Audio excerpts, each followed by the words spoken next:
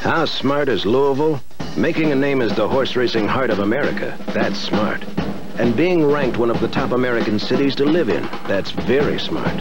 But bringing in Southwest Airlines, the airline with the highest rated service and the lowest unrestricted fares like this, that's downright brilliant. Hey, we know a winner when we see one. Louisville and Southwest Airlines, just plain smart.